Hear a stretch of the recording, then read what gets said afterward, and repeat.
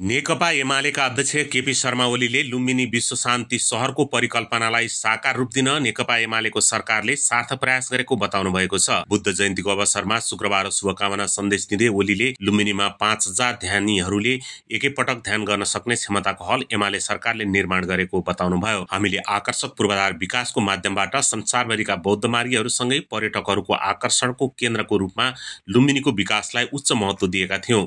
फलस्वरूप आज बुद्धको जन्मस्थल लाई सिधै अन्तर्राष्ट्रिय हवाई सम्पर्कमा लैजान सफल भएका छौँ। उहाँले सन्देशमा लेख्नु भएको छ लुम्बिनी सिद्धार्थ गौतम बुद्धको जन्मस्थलको साथै बुद्ध दर्शनको उद्गमथल पनि भएको ओलीले बताउनुभयो। यस तथ्यमा विश्वको ध्यान जान जरुरी रहेको उहाँको भनाइ छ। नेपाल साक्य मुनि सँगै बुद्ध धर्म बुद्ध दर्शन र तीनवटा बुद्धको जन्मस्थलको रूपमा प्रख्यात रहेको ओलीले बताउनु भएको छ। सम्राट अशोकले ईसा पूर्व दुई सय उन्चासमा साक्यमुनि बुद्धको जन्मस्थल लुम्बिनी क्रुकुछन्द बुद्धको जन्मथलो गोटी हवा र कनकमुनि बुद्धको जन्मस्थल हो। निग्ली हवामा शिलालेख सहितका एक एकवटा स्तम्भ स्थापना गर्नुभएको पाइन्छ। पाल्पाका गभर्नर जनरल खड्ग शमशेर र जर्मन पुरातत्वविद एलियस फुलरर जर्मन पुरातत्वविद एलियस फुहररले जङ्गलको बीचमा सन् अठार सय छ्यानब्बेमा प्रस्तुत स्तम्भ कुदिएको शिलालेख फेला परेसँगै लुम्बिनी पुनः पत्ता लाग्यो।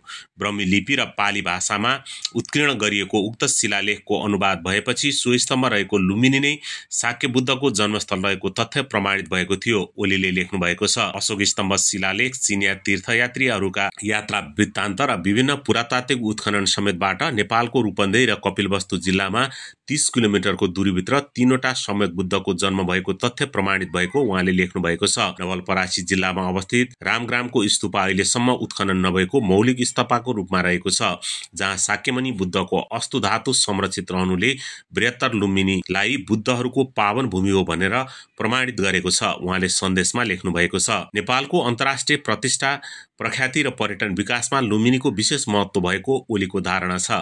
संयुक्त राष्ट्रको संरचनामा तर्जुमा गरिएको लुम्बिनी विकास योजनाको कार्यान्वयन भइरहेकोले पनि यसको महत्त्व बढेको उहाँले उल्लेख गर्नुभएको छ।